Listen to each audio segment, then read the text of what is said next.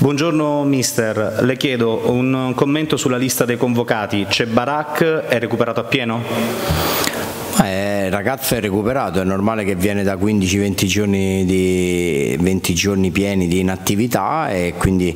dobbiamo portarlo con il minutaggio a giocare senza rischiare eh, magari una ricaduta, quindi dobbiamo essere cauti, per adesso sta con noi, vediamo quale minutaggio è fattibile per lui. Oltre a Dell'Orco, Farias, Maier, De Iola, a questi si è aggiunto l'infortunio di Lapadula per il quale l'esito della risonanza ha escluso il peggio. Eh, quali sono secondo lei i tempi di recupero? Non lo so, questa è una domanda che va, va posta più allo staff medico, obiettivamente non, non so darti una risposta delle tempistiche. Sebbene i numeri limitati, eh, scelte quindi ancora obbligate o può pensare a qualche variazione in considerazione delle gare ravvicinate? Ma noi la rosa nostra è, è, questa e purtroppo come ho detto giocare ogni tre giorni per noi non è, non è un vantaggio e, e, in più si aggiungono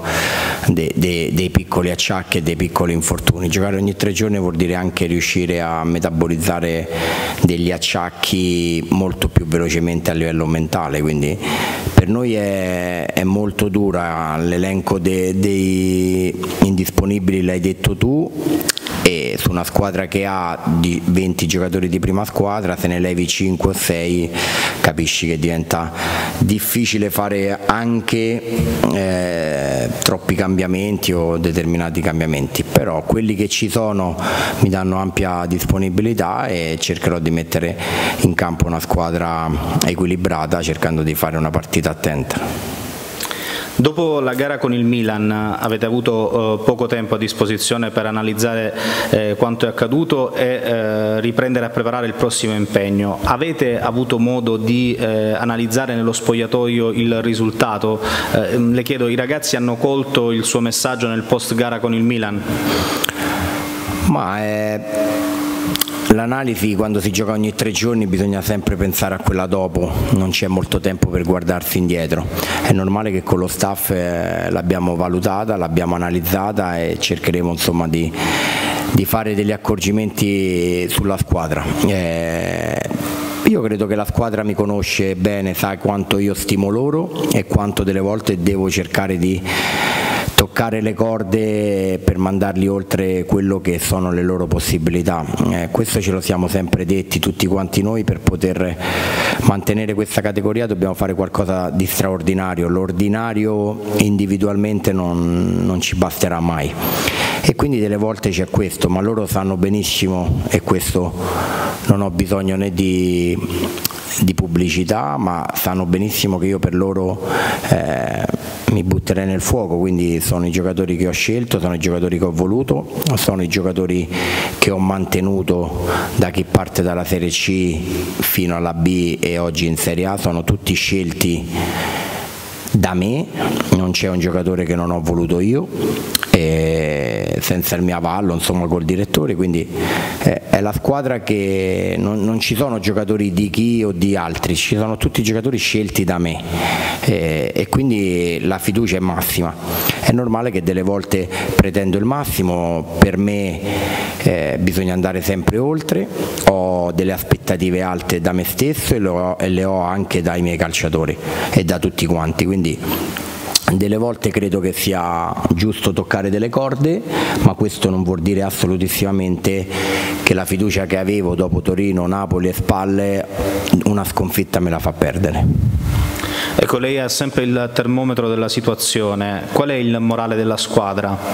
Ma il morale non può essere alto, quando si perde 4-1 in casa non può essere alto, ma noi abbiamo una, una forza che è quella tra virgolette che è dalla prima giornata che viviamo così, quindi l'abitudine a lottare, a cancellare le cose negative, a pensare alla partita prossima, questa è stata sempre la forza di questa squadra, quello che è passato non si può cambiare, noi dobbiamo cambiare il presente e il futuro. C'è di positivo che i risultati di questa giornata appena giocata non hanno cambiato di tanto le posizioni in classifica, anzi nella zona bassa quasi invariate? Per me fino a quando, come adesso e sarà così per molto, fino all'ultima partita qualsiasi risultato mio mi può portare a, ad una possibilità, io credo che la squadra deve rimanere sempre viva,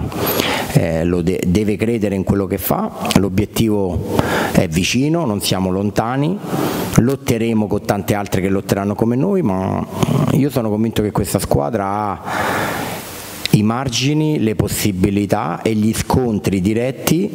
per poter eh, tirarsi fuori. Venerdì sera potremo vedere giocare insieme ancora dall'inizio Mancosu, Falco, eh, Saponara con Babacar punta centrale? Ma eh, le, le, disposizioni che faremo a Torino eh, varranno valutate domani perché comunque quando si gioca così fino alle ultime ore prima della partita si fanno delle valutazioni e quindi questo diventa oggi difficile per me dare eh, delle idee sulla formazione, valuteremo il recupero di tanti giocatori, è la seconda partita, eh, qualcuno sta un pochino meglio, qualcuno deve recuperare ancora un po', quindi per avere un'idea de della formazione ci vuole proprio le ultime ore. Sempre in tema formazione, ehm, cambierà modulo o pensa di poter cambiare modulo in difesa? Mm, nello specifico Rossettini può tornare dal primo minuto? Ma ehm, il modulo sì, eh, sono delle possibilità Mm, ma io credo che più che i moduli contano eh, gli uomini, i calciatori, quindi Rossettini dopo il lockdown ha avuto anche un problemino fisico e ha saltato un po' di allenamenti e quindi sta cercando di recuperare la condizione, è una possibilità, mm, lo è sicuramente anche per le prossime partite, come ho detto prima una rosa come la nostra dove oggi partiamo per Torino in 14 giocatori di movimento di prima squadra, credo che lo spazio in queste 11 partite ci sarà per tutti. Che Juve si aspetta avendo visto anche eh, se le ha viste le partite tra campionato e coppa giocate dai bianconeri? La Juve è la Juve, la Juve non, a prescindere da chi ha davanti vive per vincere sempre e comunque quindi sarà una, una Juve che vorrà chiuderci e mettere subito eh, la partita in discesa proprio perché hanno la qualità e la mentalità per poter poi gestire le partite, quindi chi ha questa forza proverà a fare la partita che, che spera, cioè sbloccarla velocemente e gestirla. Noi dobbiamo essere bravi a creargli qualche difficoltà. Creare le difficoltà a questa squadra vuol dire essere compatti, vuol dire non concedergli palle tra le linee che sono molto bravi ne, nelle triangolazioni e nelle giocate 1-2 e quindi dobbiamo creargli delle difficoltà mm, e farli giocare sporchi non come vorrebbero loro.